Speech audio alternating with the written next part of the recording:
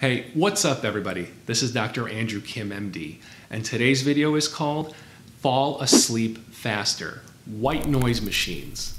Do they really work? By the end of this video, we will have gone over five questions about white noise machines to help you decide if this is something you want to try to help you fall asleep faster. So let's jump right into it. Question number one What is white noise? Now, look, if you go on YouTube and type in the term white noise, you will be bombarded with tons of videos with endless sounds of raindrops and waves crashing on the beach, which are very soothing. But soothing sounds are not actually white noise. White noise is defined as a type of noise that covers all the different frequencies that the human ear can hear, played in random order at the same amplitude. So, what does that translate to? It translates to a sound that sounds like shh, like TV or radio static, kind of like this. So, question number two What is the theory behind how white noise works or helps you fall asleep faster? Well, the theory is this uh, the theory is that as humans, we are sensitive to changes in the consistency of sound.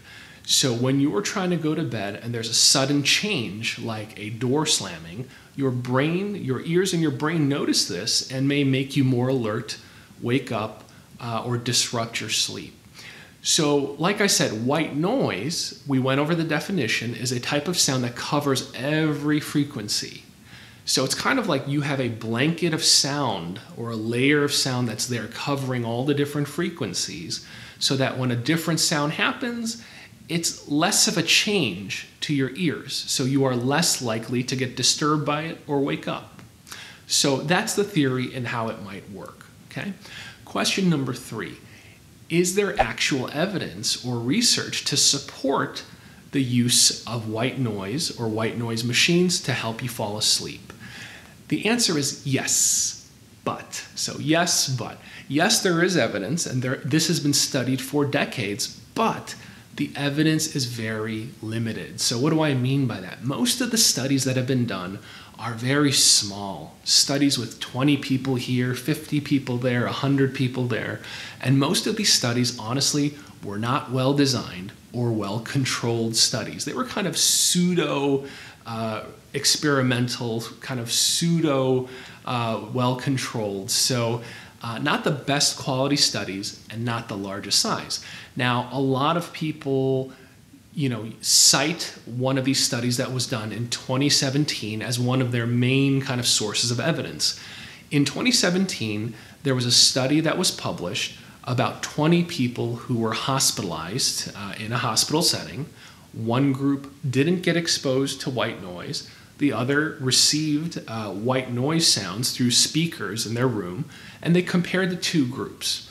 The group that was exposed to white noise fell into a deeper state of sleep about 38% faster than the other group.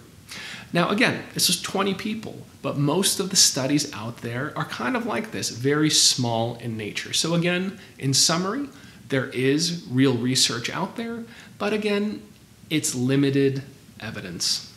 So, question number four Are there any controversies uh, surrounding the benefits of using white noise to help you fall asleep?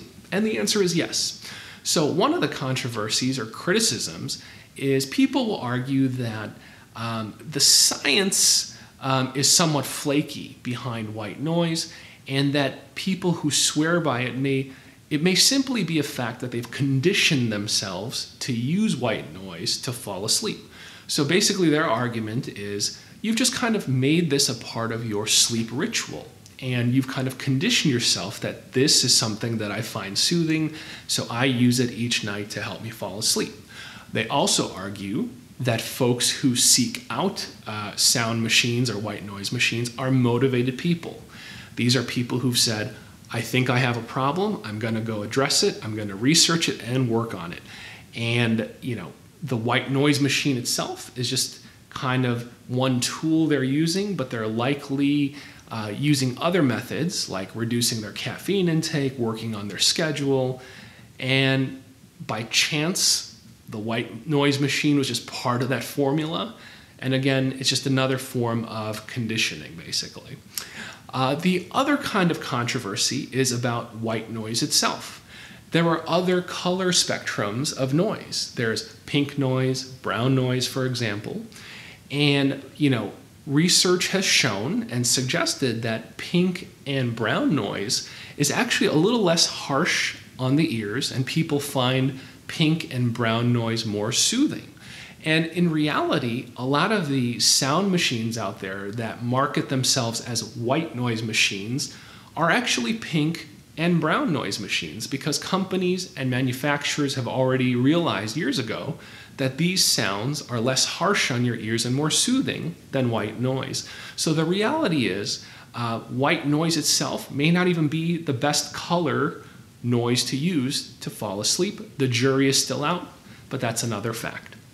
Question number five Are there any downsides or potential risks of using these types of sound machines? And the answer is yes, there are some potential risks, limited, but there are some.